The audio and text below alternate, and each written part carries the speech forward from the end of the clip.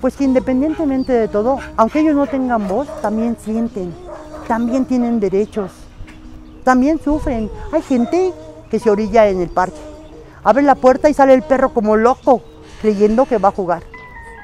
El dueño se jala y se va.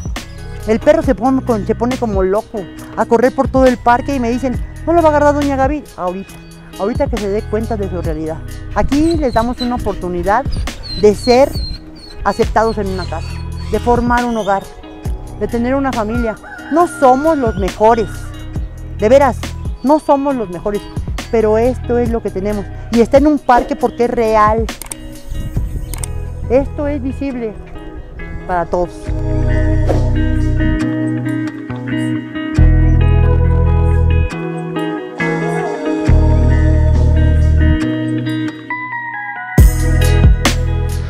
¿Cómo están tejanos? Bienvenidos a un nuevo video. En esta área de San Buenaventura, Ixtapaluca y Chalco se hizo viral un video de un taquero. Un taquero donde recogía perros por varios días, los subía a su coche y la gente pensó lo peor.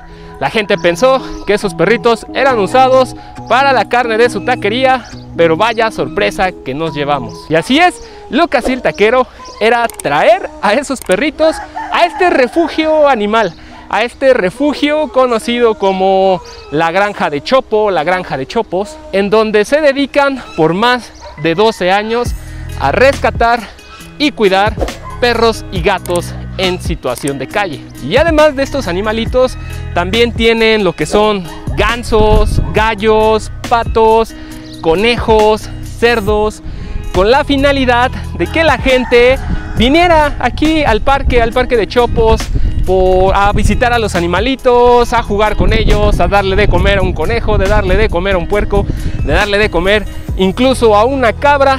Entonces, con esa finalidad la gente vendría y así vería a los perritos rescatados de la calle. Entonces, bajo esa idea, la gente, los dueños de la granja, podrían ofrecer a uno de los tantos perritos que tienen aquí Perritos que les repito que estuvieron en situación de calle y que aquí tienen un techo, alimento y agua. Entonces vamos a saber la historia de la granja de Chopos de San Buenaventura, Ixtapaluca. Acompáñenme. En la Avenida de las Aves en San Buenaventura, Ixtapaluca, se encuentra la Granja de Chopos, una granja que alberga distintos animales como cerdos, cabras, gallinas, conejos, pero que le da refugio, comida y agua a perros y gatos en situación de calle. Y su historia comenzó para darle más seguridad a la colonia. Realmente aquí no había nada, había pura basura, había montañas de basura, estaba abandonado, el pasto estaba muy largo, estaba más o menos como de un metro de largo el pasto y aquí asaltaban. Pasar por aquí era un verdadero privilegio.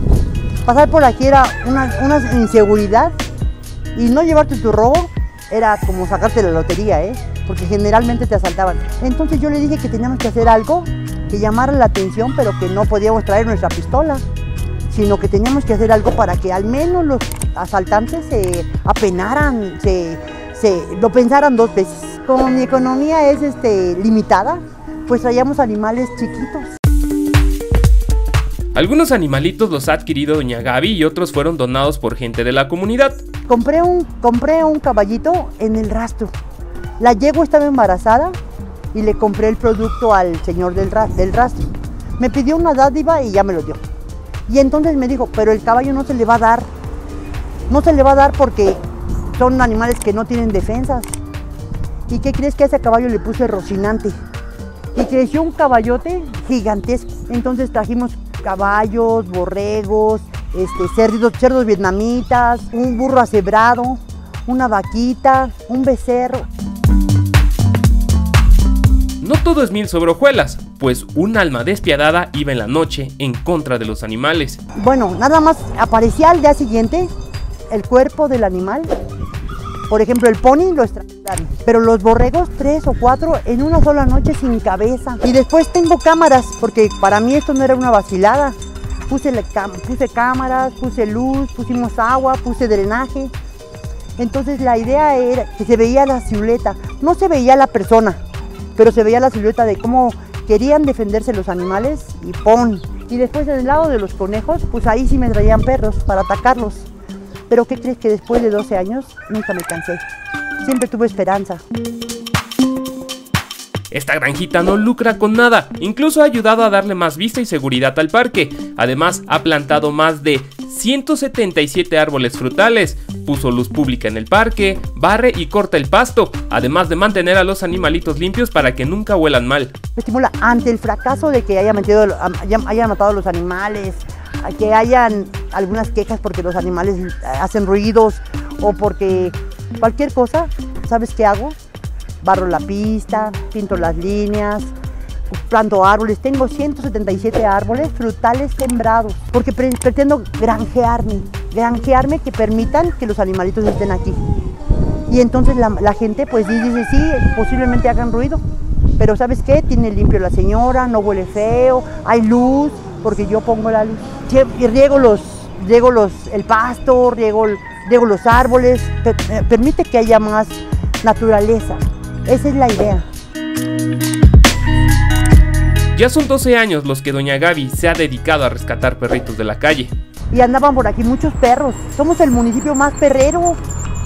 Y entonces yo dije, no es suficiente traer una, un costalito en mi carro para darles de comer. En ese momento, pero después, ¿quién los defiende? ¿Quién ve que no los atropellen? ¿Quién ve que posiblemente puedan tener más necesidades? Que tengan un techo. Nadie. Casi nadie. Los que somos perreros, los que somos animaleros, no tenemos suficiente dinero o suficiente espacio o suficiente tiempo para cuidarlos. Y entonces yo renuncié a uno de mis trabajos para poder cuidar aquí. La idea de Doña Gaby es esta, llamar la atención de la gente con sus animalitos de granja para que cuando estén ahí puedan sensibilizarse y adoptar un perrito. Los animales de granja llaman la atención, pero ya que la gente entra, veo la posibilidad de que se, sensibilicen y se lleven un perro en adopción, un perro o un gato. Pero los que llaman la atención son los animales de granja. Y obviamente hay requisitos para adoptar un perrito. Bueno, aquí para adoptar un perro o un gato necesitas traer la copia de la credencial del lector para saber quién se lo lleva y el comprobante de domicilio para saber dónde va a estar. Y firmamos un, un formato donde nos corresponsabilizamos por el animal y tienen que traérmelo una vez al mes durante tres meses. Yo lo vacuno al primer mes, yo le pongo la, vacuna de la rabia al segundo mes y al tercer mes lo esterilizamos. Si es aquí, cuesta 500 pesos, pero puede ser en cualquier parte. Yo lo único que quiero es que ese animalito quede esterilizado. Vamos con el veterinario que por un acuerdo me cobra 500 pesos cualquier tamaño, cualquier tamaño de animal, chiquito o grande. Por año se les otorga familia a más de 300 perros. Bueno, pues nosotros desde que está la gran... Eh, anualmente damos un promedio de 300 a 350 animales dados en adopción, con formatito y su seguimiento.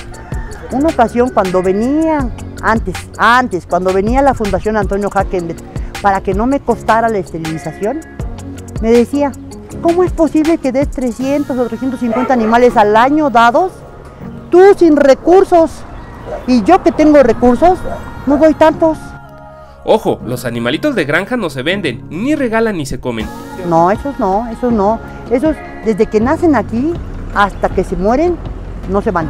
Ni se comen, ni nada. Aquí lo único que se vende de esos animalitos de granja es el huevo. Cuando lo sacan, se vende el huevito para que la gente lo pueda ingerir y ya pero no vendemos ni, damos en donación ni nada, animales de granja para nada.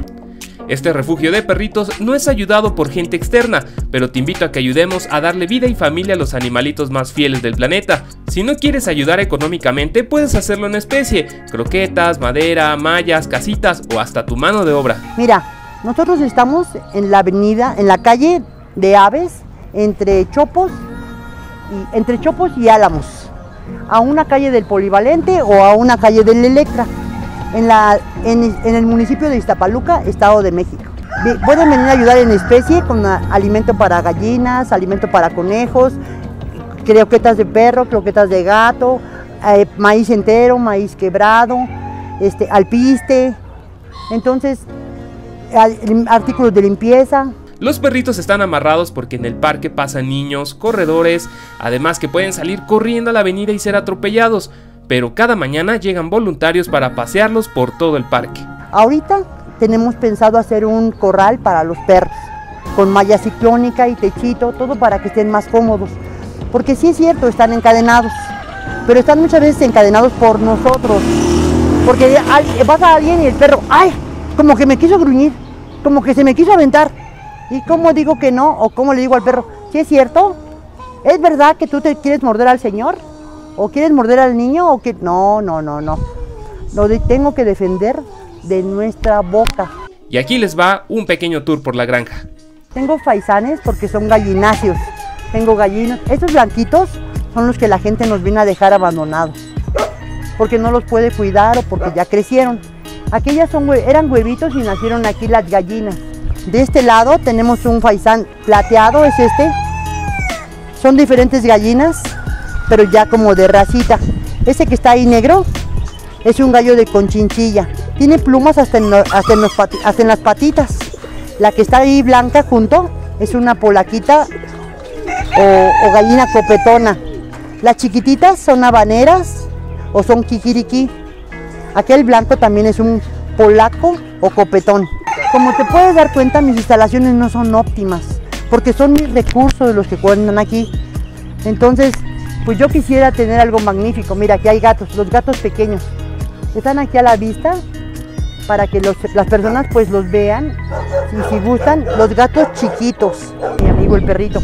Él llegó porque lo iban a atropellar en la autopista y nosotros lo recogimos y venía muy sarnosito. Ya se está curando de la sarna.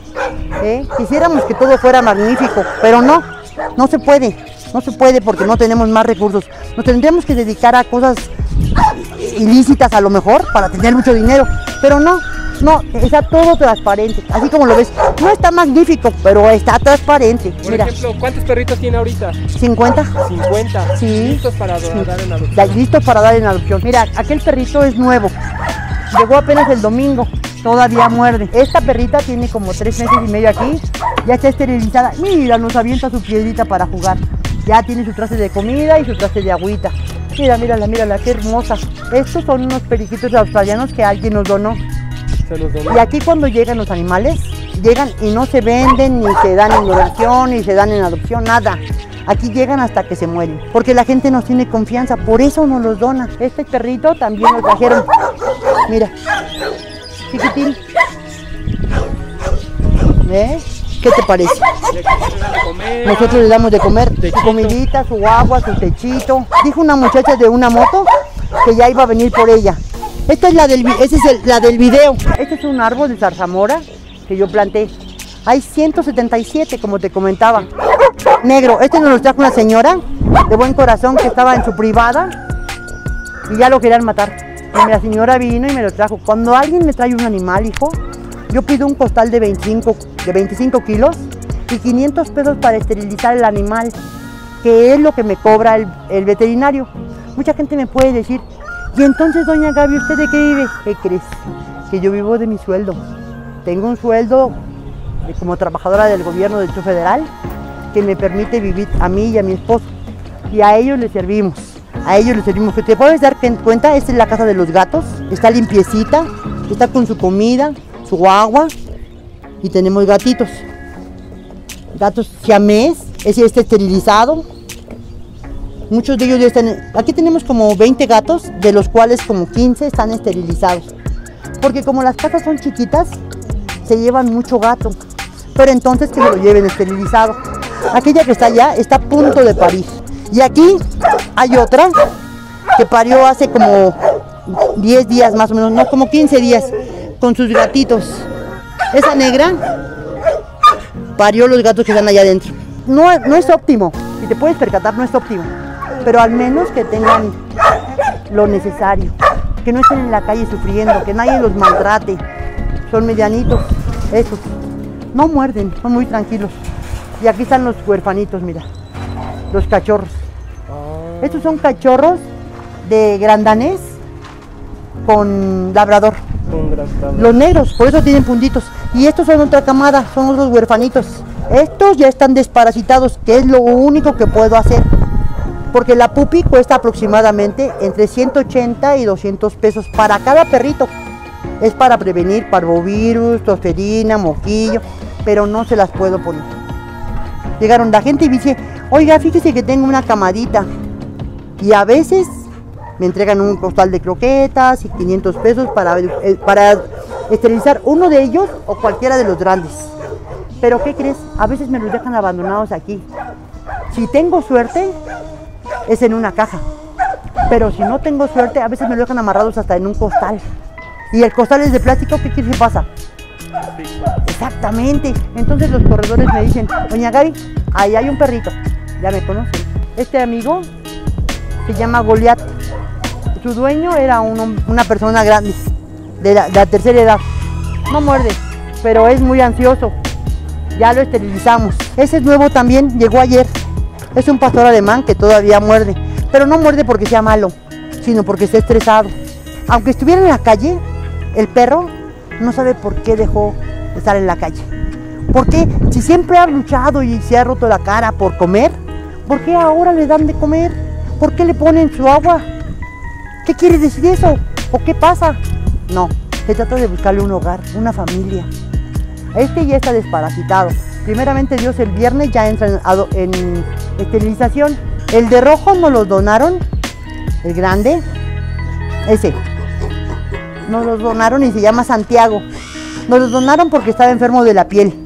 Y resulta que le pusimos el medicamento adecuado y ya está muy bien. ¿eh? Todos ellos son amigables. Ellos no muerden. Ellos no muerden. Pero no se venden, ni se donan, ni se dan en adopción. Sí, son para llamar la atención. Si tuviéramos puros perros y gatos, la gente difícilmente los vería. Y se trata de que los vean, mira, este se llama manchas. También llegó mordiendo. Y ya se, ya se esterilizó. Pero ya está tranquilo. Ya está tranquilo. Sí, sí. Ven, manchas. Ven. Tiene calor. Ven, ven manchas. Y ahí está tu agua. Ven manchas. Ven, ven manchas. Ven, ven amigo. Ven. Y es un perro para un hogar. Ya es un compañero de la vida. Eso se trata. Nosotros cuando damos un animal, le decimos a la persona, ven y relacionate con él. Con él. Mira, este, este chico. A este le aventaron de un carro andando. ¿Cómo la ves? Es un varón.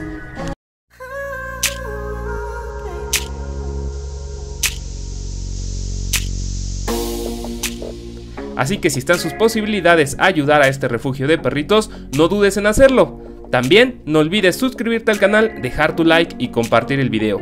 Yo soy el Rulo Texas y nos vemos la próxima.